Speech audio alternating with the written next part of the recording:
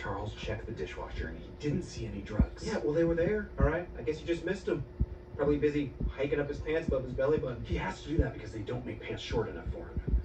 Look, don't lie to me, man. Dude, the guy's a drug dealer, all right? I wasn't gonna let him walk again.